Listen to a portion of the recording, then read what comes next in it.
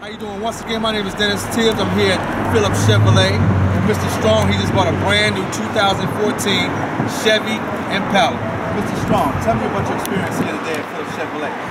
This experience is one of the best I've ever had with any car dealership.